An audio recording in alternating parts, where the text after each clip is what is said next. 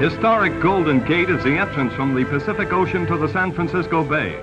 It is now spanned by the longest suspension bridge in the world. Here in one of the world's largest landlocked harbors, dock the ships of the seven seas. Pleasure boats, too, break out their white sails and run down the wind.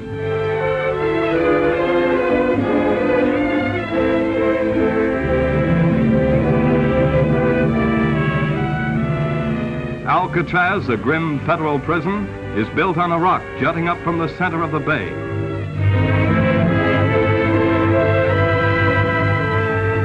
Coit Memorial Tower tops historic Telegraph Hill, where for years the arrivals and sailings of ships were watched and reported.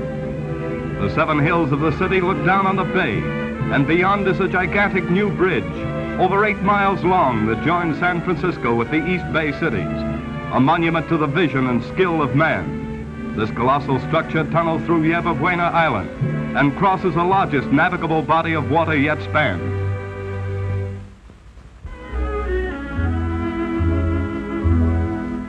To the west lies the center of the great city, rich in history, but progressive and modern today, a dominant financial and commercial metropolis of the West.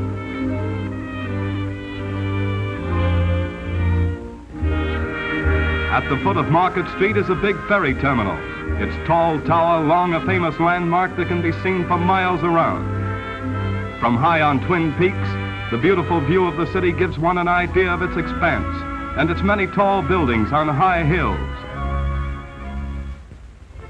Market Street is a main business thoroughfare so wide that it has four car tracks. It extends diagonally across the city from the ferry terminal out to the Twin Peaks. With its smart shops and theaters, it is a great white way.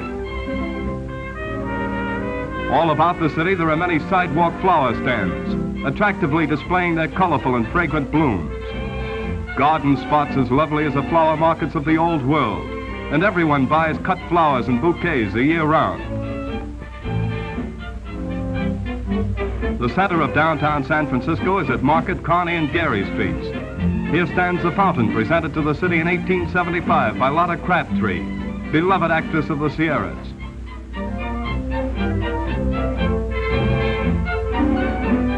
Facing Union Square, where uptown and downtown merge, is the St. Francis Hotel, and in the lovely palm-shaded square, the Dewey Memorial Monument. Some of the streets are so steep that the cars must be run on cables.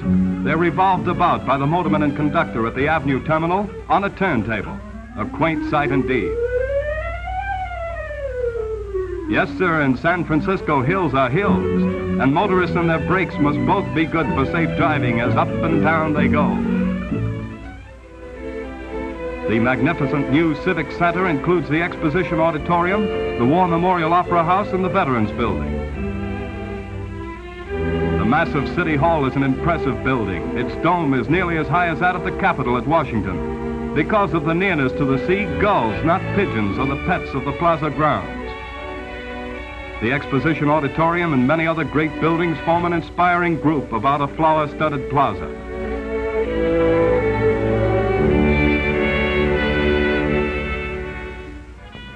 The new United States Mint is a building of modernistic lines, a distinctive structure appropriate for its purpose.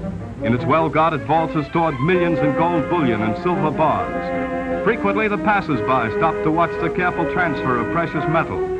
Great quantities are received, and Uncle Sam takes no chances. It is handled with military discipline.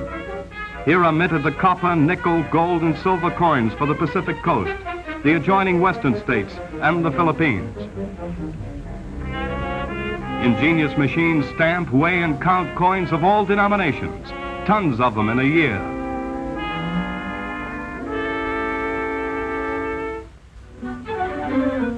Chinatown, the largest oriental city in the Occident. In its little park stands the new steel statue of Sun Yat-sen, the father of New China. The streets are lined with pagodas, joss houses, ancient shrines, bazaars, and cafes. Here are silks and incense, teak wood and ivory, and a soft-spoken people slowly move about their work and play, still maintaining all the traditions of the Far East.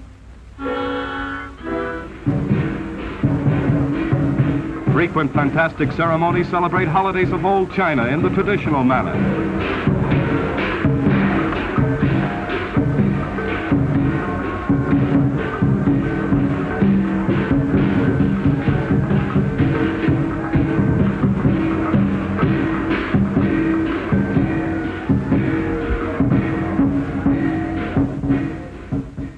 On New Year's Day, all debts are paid and offerings made at the temple by young and old and rich and poor as they file by the altar of Buddha and generously give.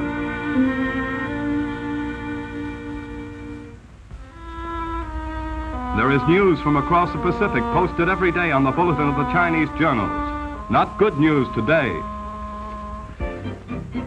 With native mannequins, a modern fashion show displays the latest styles as well as the ornate ancient costumes worn for centuries in old Cathay. These young ladies dress as well as their sisters of the Western world, and sometimes more picturesquely. Colorful Fisherman's Wharf is like the docks at Old Naples. A fish dinner on the wharf is long remembered as an unusual treat. Swarthy fishermen mend their nets and prepare to sail out to sea. They will bring back a big catch, luscious seafoods of the deep Pacific. Cracked crabs are but one of the many famous delicacies served here. On the site of the Panama Pacific Exposition of 1915, there are still standing and used some of the most beautiful buildings, monuments of the good taste of the last generation. San Francisco's most historic building is Mission Dolores, founded by Spanish monks in 1776. Many unusual relics are seen here from the days when California was ruled by Spain and Mexico.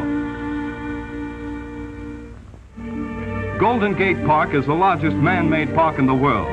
The De Young Memorial Museum houses many precious exhibits of paintings and statuary, beautiful buildings and monuments set in a garden spot of over a thousand acres. Winding drives run from the city center to the sea. A singing waterfall in the heart of the park makes the city seem far away.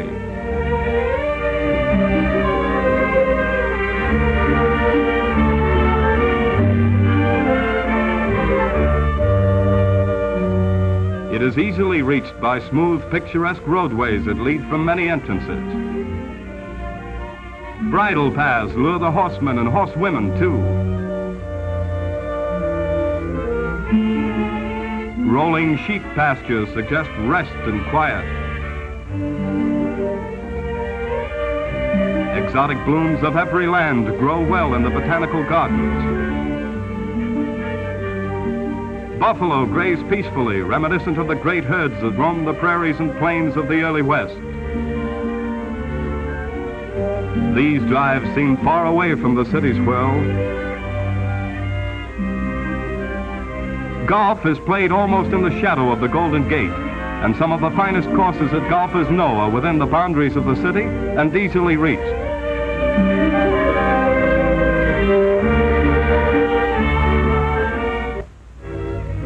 Directly overlooking the Golden Gate is the impressive California Palace of the Legion of Honor.